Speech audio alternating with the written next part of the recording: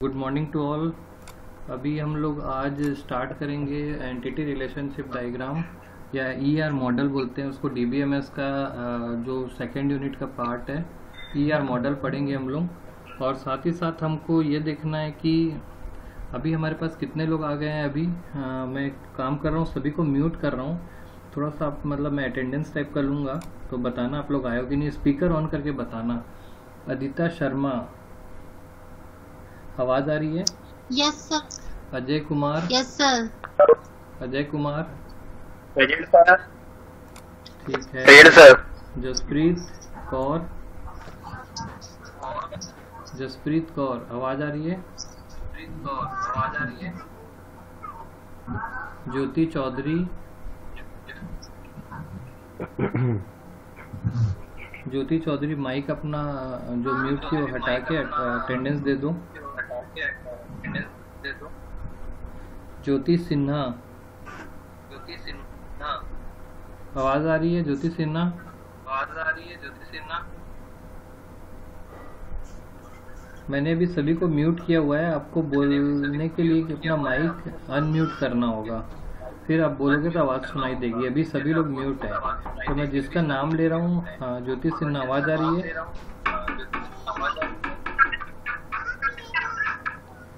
खुशी। आवाज़ आ रही है? यस यस ओके चमेली साहू। यस सर और है आपका नागेश्वर नागेश्वर साहू आवाज़ आ रही है?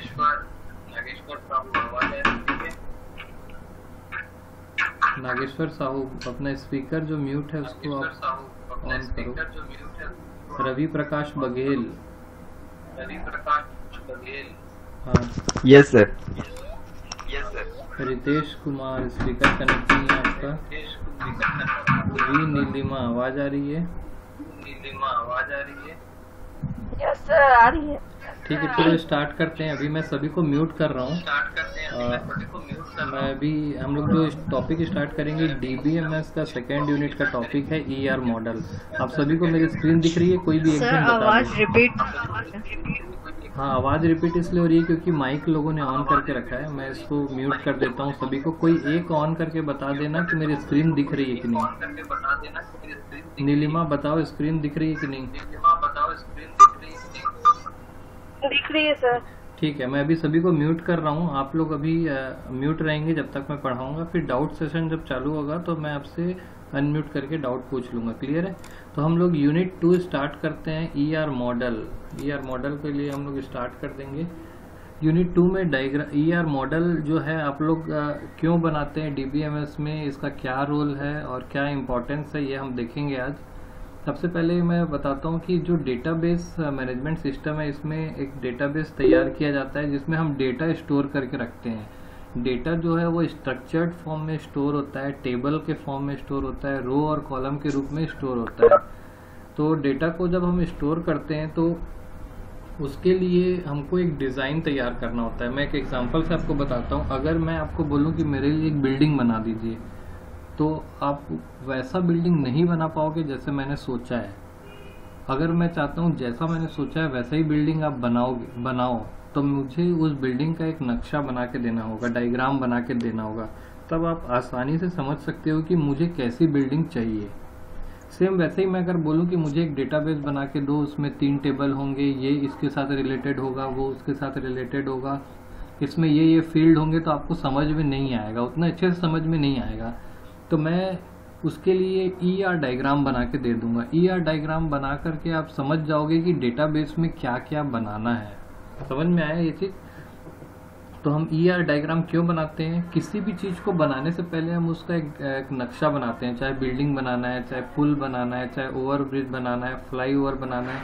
तो अगर मैं किसी को बोलता हूँ कि मेरे लिए ये ये कंस्ट्रक्टर को मैं बोल रहा हूँ कि मुझे ऐसा फ्लाई ओवर बना के दो ये मेरा डिज़ाइन है मुझे ऐसा ही चाहिए तो मैं उतने अच्छे से एक्सप्लेन नहीं कर पाऊँगा जब तक मैं उसको डायग्राम बना के नहीं देता हूँ। तो इंजीनियर्स जो होते हैं वो इंजीनियरिंग डायग्राम के थ्रू उसको समझाते हैं और जो डेटाबेस का जो डायग्राम होता है, उसको हम ई आर डायग्राम के थ्रू समझा सकते हैं। ई आर डायग्राम के अलावा और भी कई मॉडल हैं, लेकिन ये सबसे पॉपुलर मॉडल है ई आर डायग्राम तो अगर मैं आपको बोलूँ कि एक स्टूडेंट का एक डेटाबेस बनाओ, जिसमें स्टूडेंट के एग्ज़ाम का डिटेल होगा स्टूडेंट के अटेंडेंस की डिटेल होगी, उसके फ़ीस की डिटेल होगी, उसके लाइब्रेरी की डिटेल होगी। तो मैं ऐसा अगर बोल के बताऊँगा तो उतने अच्छे से आप नहीं बना पाओगे, या उतने अच्छे से समझ में नहीं आएगा। तो उसके लिए मैं, हम लोग क्या करते हैं ई आर डायग्राम बना देते हैं, ताकि एज इट इज़ आप ई आर डायग्राम को देख के डेटाबेस बना सकते हो। कुल मिला के ई आर डायग्राम जो है वो आपके डेटाबेस का ग्राफिकल रिप्रेजेंटेशन होता है। जैसे एक बिल्डिंग का ग्राफिकल रिप्रेजेंटेशन है, उसका एक नक्शा होता है, वैसे ही डेटाबेस का ग्राफिकल रिप्रेजेंटेशन जो होता है, वो ई आर डायग्राम या ई आर डायग्राम होता है और ये ई आर डायग्राम जो है, वो ई आर मॉडल के अंदर आता है। तो हमारा जो थ्योरी में टॉपिक है, वो है ई आर मॉडल क्लियर है? तो हम जो टॉपिक पढ़ने वाले हैं ई आर मॉडल है, इसमें एंटिटी और रिलेशनशिप के बीच में मिला के डायग्राम बनाया जाता है। तो यहाँ पर आप देखोगे कि ई आर मॉडल जो लिखा हुआ है, ये रिलेशनशिप बताता है दो एंटिटी के बीच में। और एंटिटी का मतलब यहाँ पर सीधा सीधा होता है एक प्रकार से टेबल से। अगर मैं बोलूँ कि दो टेबल के बीच में रिलेशनशिप बताओ और एक डायग्राम बना दो तो वो ई आर डायग्राम कहलाएगा और वो ई आर मॉडल के अंदर आता है। क्लियर अगला देखते हैं, एक यहाँ पर एक ई आर डायग्राम बना हुआ है। इसमें स्टूडेंट जो है, वो एक एंटिटी है। यहाँ स्टूडेंट दिख रहा है, ये एक एंटिटी है। और कॉलेज भी एक एंटिटी है। इन दोनों के बीच में रिलेशनशिप बनी हुई है। वो कुछ इस तरीके से है स्टडी इन तो मैं ये बोल सकता हूँ कि स्टूडेंट स्टडी इन कॉलेज तो स्टूडेंट और कॉलेज के बीच में जो रिलेशनशिप बना है, उनके बीच का रिलेशनशिप जो है, वो कहलाएगा आपका स्टडी इन और हर जितने भी आपके एंटिटी होती है, उनके बीच में हर एंटिटी में कुछ एट्रीब्यूट्स होते हैं। तो कुछ निश्चित सिंबल से ही उनको दिखाया जाता है। एंटिटी को हमेशा एक रेक्टेंगल से दिखाया जाता है रिलेशनशिप को हमेशा डायमंड से दिखाया जाता है और कॉलेज को हमेशा सॉरी एट्रीब्यूट को हमेशा ओवल शेप से दिखाया जाता है। तो फॉर एग्जांपल मैंने आपको ये डायग्राम दे दिया एंटिटी रिलेशनशिप डायग्राम मैं बोल रहा हूँ कि आप इसका डेटाबेस बनाइए।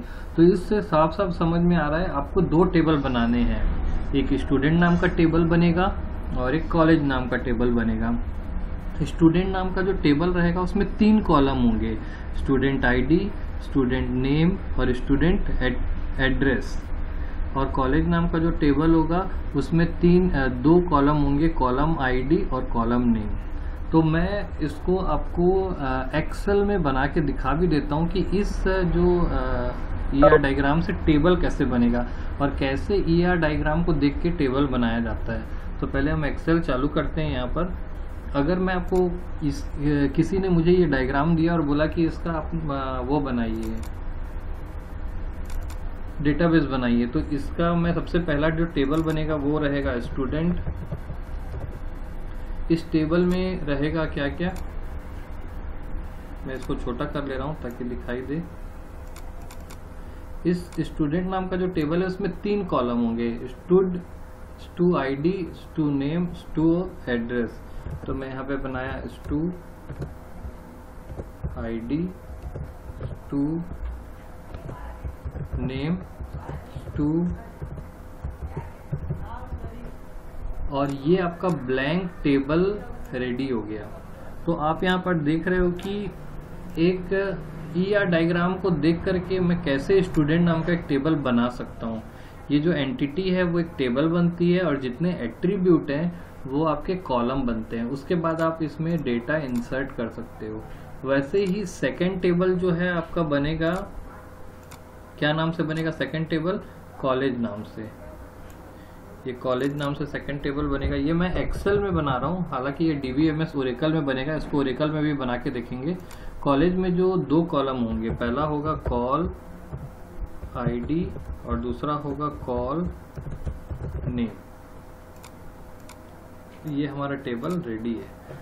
तो आपने अभी देखा कि कैसे एक ई आर डायग्राम को टेबल में बदला जा सकता है काफ़ी आसानी से। ये आपका ई आर डायग्राम है, जिसमें ये बताया गया है कि दो टेबल बनेंगे। स्टूडेंट नाम का एक टेबल बनेगा, जैसे यहाँ बना हुआ है। उसमें तीन कॉलम होंगे stu ID stu name stu address यहाँ तीन कॉलम बन गए। और यहाँ पर एक कॉलेज नाम का एक टेबल बना है, जिसमें दो कॉलम है कॉल आईडी और कॉल नेम यही चीज़ बताने के लिए अगर मैं आपको इस तरीके से बोलूँ कि मुझे दो टेबल बना के देना है आपको, एक टेबल होगा स्टूडेंट उसमें तीन कॉलम होंगे stu ID stu name stu address और कॉलेज एक टेबल होगा college col ID col name और उन दोनों के बीच में रिलेशनशिप होगा। ऐसा मुँह से बताऊँ तो आप उतने अच्छे से नहीं समझ पाओगे, जितना कि इस डायग्राम से समझ में आ रहा है। प्लस ये डायग्राम छोटा सा ई डायग्राम है। अगर ये ई आर डायग्राम में 50 एंटिटी होती या 100 एंटिटी होगी तो आपको मैं मुँह से बताऊँगा, आप पूरा कंफ्यूज हो जाओगे। लेकिन जो डायग्राम है, उसको देख करके आप आसानी से, भले आपको एक घंटा लगेगा, लेकिन आप आसानी से एक टेबल 50-60 टेबल क्रिएट कर सकते हो डायग्राम देख करके। तो छोटा टेबल है तो आप मुँह से भी बता सकते हो। यहाँ पर ये फ़िलहाल छोटा ही टेबल है, दो दो टेबल है और पाँच कॉलम है। तो काफ़ी आसानी से आप ऐसे भी बता सकते हो ओरली लेकिन जब बहुत बड़ा डेटाबेस होता है, जिसमें 100 टेबल 150 टेबल होते हैं और 50-50 कॉलम्स होती हैं तो वहाँ पे बिना डायग्राम के काम नहीं होता मुँह से आप नहीं बता सकते हो। तो ई आर डायग्राम का क्या रोल है वो समझ में आया? फिर से मैं रिवाइज कर रहा हूँ। हाँ, किसी को कोई डाउट है क्या अभी? चलो अभी मैं फ़िलहाल एक बार आपसे डाउट सेशन भी ले ले रहा हूँ। इतना जितना मैंने बताया अभी इसमें से किसी को कुछ पूछना है? रुकमनी? अभी जितना भी बताया समझ में आया? अनम्यूट करके आप बोल सकते हो।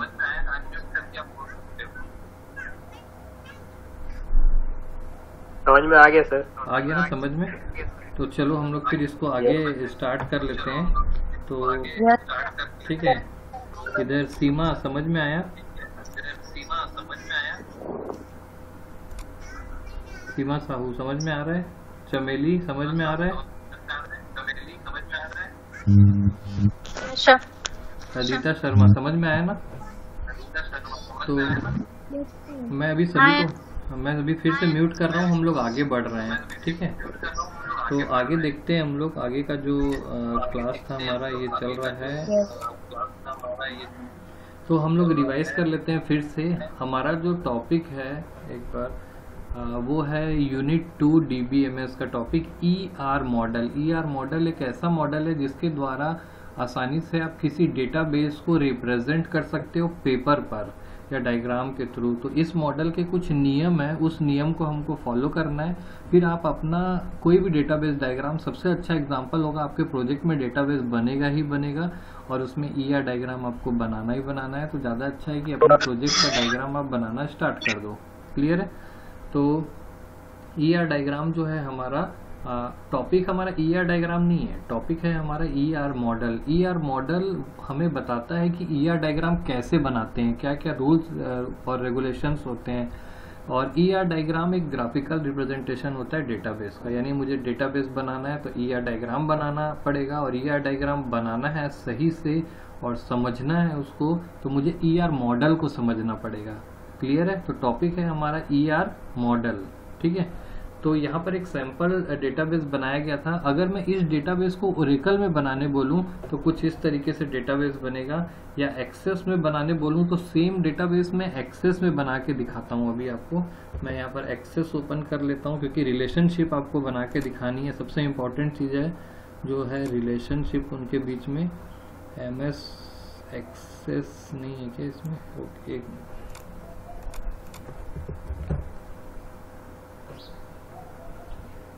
मैं आपको एक्सेस में इस ई आर डायग्राम को बना के दिखाता हूँ कि एक्सेस में सेम डायग्राम को हम कैसे डेटाबेस में कन्वर्ट करेंगे। क्लियर है?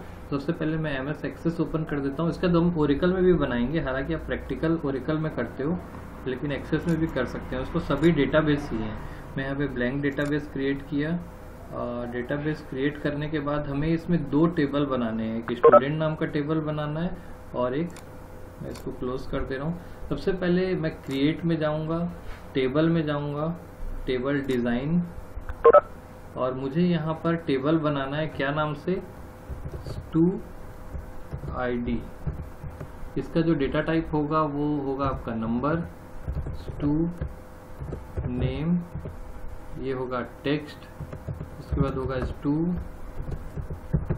एडर ये होगा टेक्स्ट ठीक है? ये तीन कॉलम मेरे बने, और आप चाहो तो इसका एक स्क्रीनशॉट ले लो, मैं एक दो सेकंड के लिए रुक रहा हूँ। स्टू आईडी बनाया आपने स्टू नेम बनाया, ये तीन कॉलम बनाए। जैसे मैं इसको क्लोज करूँगा तो ये पूछेगा टेबल का नाम। क्लोज करने पर ये पूछ रहा है कि आपके टेबल का क्या नाम है?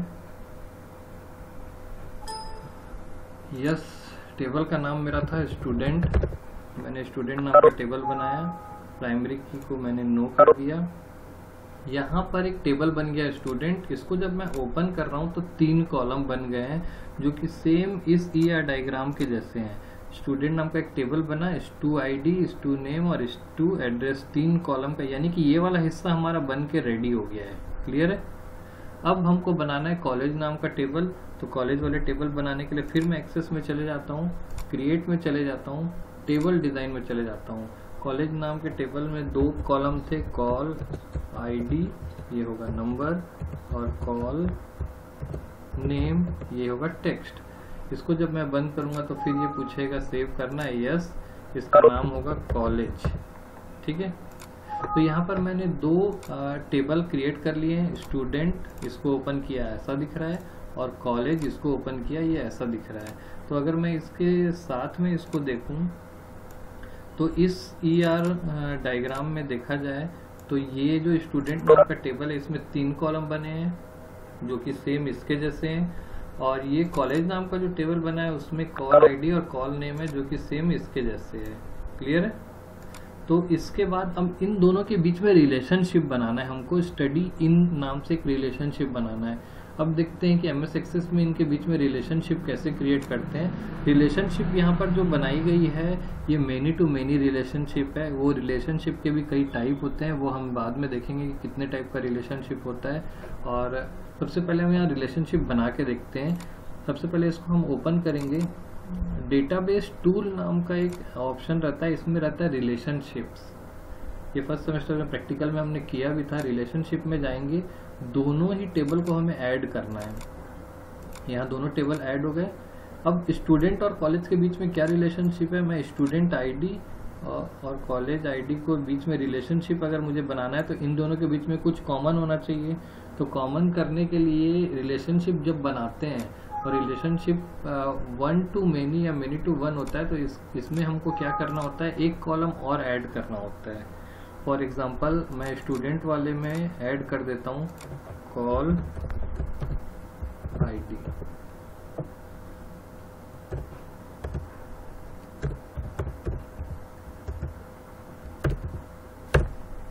ठीक है? कॉल आईडी बनाने से ये दोनों रिलेशनशिप में आ सकते हैं और इसको मुझे बनाना पड़ेगा प्राइमरी की क्योंकि प्राइमरी की और फॉरेन की आपस में ही रिलेशनशिप बनते हैं। तो अब मैं इसको सेव करता हूँ। अब मैं जाता हूँ डेटाबेस टूल में रिलेशनशिप में, दोनों टेबल ऐड करता हूँ। ध्यान से देखो आप कि ना कॉलेज का जो कॉलेज आईडी है वो प्राइमरी की है और स्टूडेंट में भी कॉलेज आईडी है। ये दोनों आपस में जुड़ेंगे।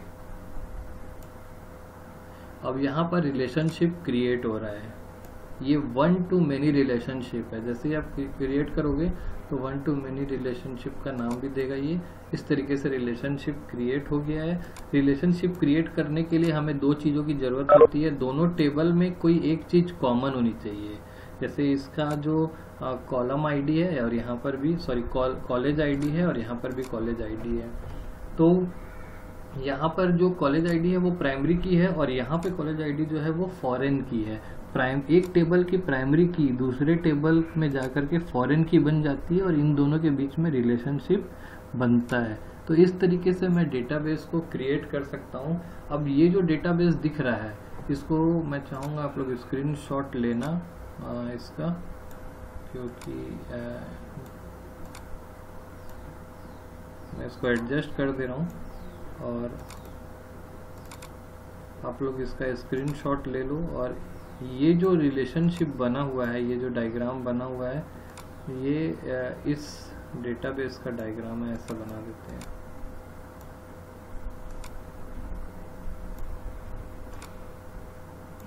ठीक है आप लोग इसका स्क्रीनशॉट ले लो।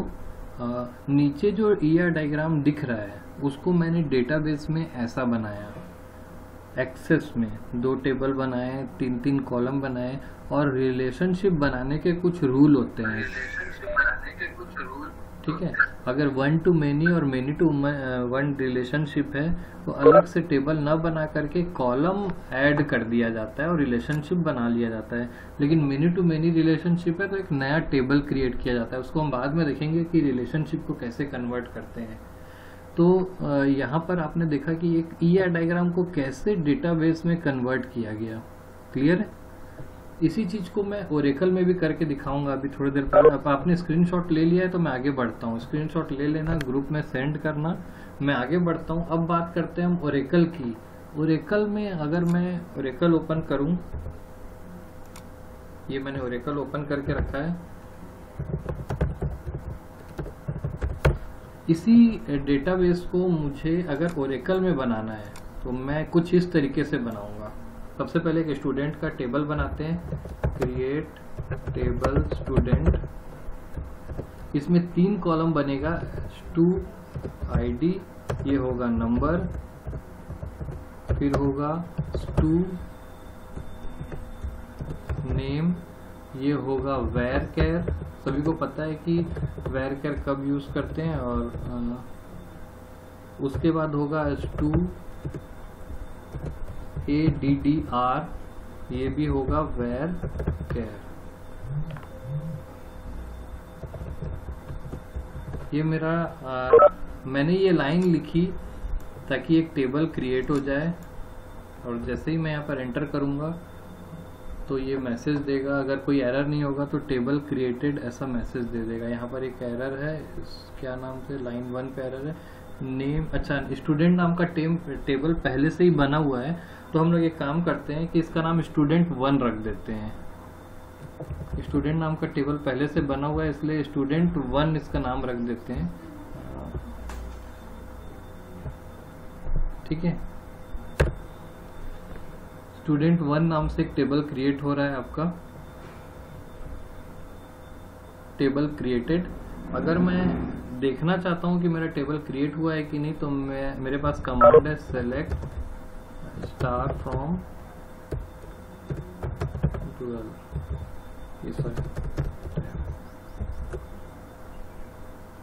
मेरे पास एक स्टूडेंट वन नाम का एक टेबल क्रिएट हो गया।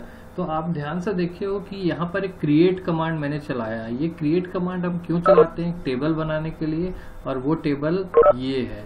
तो अगर मैं आपको बोलना, अगर मुझे बोलना है कि स्टूडेंट नाम का एक टेबल बनाओ जिसमें ये होगा स्टूडेंट का एड्रेस होगा फ़ोन नंबर होगा एनरोलमेंट नंबर होगा, इतना सारा बोलने की बजाय मैं ये छोटा सा डायग्राम आपको बना के दे दूँगा। आप आसानी से इसको देख करके टेबल बना सकते हो। सेम वैसे ही अगर मुझे कॉलेज नाम का टेबल बनाना है तो मैं यहाँ पर कमांड चलाऊँगा। सबसे पहले क्लियर स्क्रीन कर देते हैं।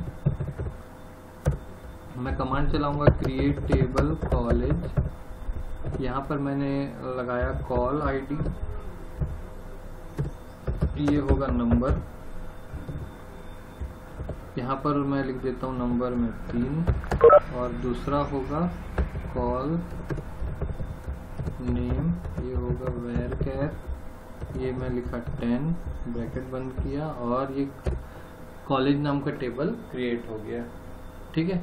अगर मैं देखता हूँ सेलेक्ट स्टार फ्रॉम टैब तो मुझे यहाँ पर दो टेबल क्रिएटेड दिख रहे हैं स्टूडेंट पहले से था कॉलेज बना और स्टूडेंट वन बना तो मुझे काफ़ी आसानी होगी अगर मैं एक ईआर डायग्राम बना के दे दूँ तो आप आसानी से उससे टेबल बना सकते हैं। तो ईआर मॉडल का रोल समझ में आया? ईआर डायग्राम का। अभी तक हम जो भी देख रहे थे, हमने, मैं फिर से ब्रीफ कर रहा हूँ। हम लोग डीबीएमएस का ई आर मॉडल पढ़ रहे हैं। ई आर मॉडल इसलिए पढ़ रहे हैं यूनिट टू का है कोर्स है ये। ई आर मॉडल जब हम पढ़ते हैं तो ई आर मॉडल से हम ई आर डायग्राम को बनाना और उसको समझना सीखते हैं। और ई आर डायग्राम क्यों ज़रूरी है, क्यों इम्पोर्टेंट है? क्योंकि किसी डेटाबेस का ग्राफिकल रिप्रेजेंटेशन होता है। काफ़ी आसानी से आप अपने एक बहुत बड़े डेटाबेस को दूसरे को बता सकते हो ऑन पेपर लिख करके। और वो आप जो भी लिखोगे, वो एक भी चीज़ मिस नहीं करेगा। एज इट इज़ वैसा ही डायग्राम वैसा ही डेटाबेस बनेगा जैसा आपने डायग्राम बना के दिया है। जबकि अगर मैं मुँह से बोल के बताऊँ या किसी और तरीके से उसको बताऊँ तो वो हो सकता है मैंने जो जो चीज़ें बोली है उसमें से एक आध चीज़ वो मिस कर दे, छोड़ दे या गलत बना दे। और डेटाबेस में गलती होती है तो उसमें आगे जाके प्रॉब्लम्स क्रिएट होती है। तो हमारा जो ई आर डायग्राम है एंटिटी रिलेशनशिप डायग्राम इसका बेसिक उद्देश्य ये है कि हम किसी डेटा बड़े डेटाबेस को आसानी से रिप्रेजेंट कर सकें, दूसरे को बता सकें। और इसको समझने के लिए और बनाने के लिए हम ई आर मॉडल पढ़ते हैं। ई आर मॉडल में सारे नियम हैं कि ई आर डायग्राम कैसे बनेगा एंटिटी को कैसे दिखाया जाएगा? रिलेशनशिप को बनाने के लिए टेबल कैसे बनेगा? कब वन टू वन होगा? कब वन टू मेनी होगा? किसको वन टू वन बोलेंगे? किसको वन टू मेनी बोलेंगे? इस तरीके के रिलेशनशिप ये सारी जो थ्योरी पार्ट है, सारा कंसेप्ट है, वो ई आर मॉडल पे है। क्लियर है? तो आगे बढ़ते हैं हम लोग। देखिए ई आर मॉडल में जो ई आर डायग्राम बनाया जाता है, उसमें कुछ बेसिक शेप्स होते हैं, जैसे रेक्टेंगल रेक्टेंगल जो है, वो एंटिटी को दिखाता है। मतलब जब भी आप देखो रेक्टेंगल तो आपको समझ में आ जाएगा कि वो रेक्टेंगल एक एंटिटी है और उससे हमको एक टेबल ही बनाना है। एलिप्स जो है, उससे हम एट्रीब्यूट को दिखाते हैं डायमंड से हम रिलेशनशिप को दिखाते हैं। लाइन से आप जो है, उनके बीच का रिलेशनशिप के सेट को दिखाते हैं। उसके बाद डबल एक्लिप्स जो है वो मल्टी वैल्यू एट्रीब्यूट्स को दिखाता है। ये मल्टी वैल्यू एट्रीब्यूट क्या होता है बाद में डिस्कस करेंगे। मैं चाहता हूँ आप लोग इसका एक स्क्रीनशॉट ले लो ताकि ये कंपोनेंट्स है, इन कंपोनेंट से मिलकर ही जो आपका ई आर डायग्राम बनता है। यानी ई आर मॉडल में वो सारे रूल रेगुलेशन है, जिससे आप ई आर डायग्राम आसानी से बना सकते हो और दूसरे का बनाया हुआ ई आर डायग्राम आसानी से समझ सकते हो। तो इसका एक स्क्रीनशॉट ले लो, ये कंपोनेंट्स ऑफ़ ईआर डायग्राम है। इसके बाद ये कंपोनेंट्स को कुछ इस तरीके से दिखाया गया है, इसका भी आप एक स्क्रीनशॉट ले लो, ये ग्राफिकल रिप्रेजेंटेशन है, अच्छे से समझ में आएगा। रिलेशनशिप चार टाइप के होते हैं one to one one to many many to one और मेनी टू मेनी कौन से रिलेशनशिप को वन टू वन बोलेंगे, किसको वन टू मेनी बोलेंगे, किसको मेनी टू वन बोलेंगे, ये हम सीखेंगे ई आर मॉडल में ही। ठीक है? एट्रीब्यूट भी यहाँ पर दिखाया गया है। चार टाइप के होते हैं। Key attribute composite attribute multi value attribute ये सब चीज़ों को अभी जब आप जब तक आप एग्ज़ाम्पल नहीं देखोगे, तब तक आपको ठीक से क्लियर नहीं होगा। एंटिटी भी दो टाइप की होती है। वीक एंटिटी सेट और स्ट्रॉन्ग एंटिटी सेट तो अब हम लोग देख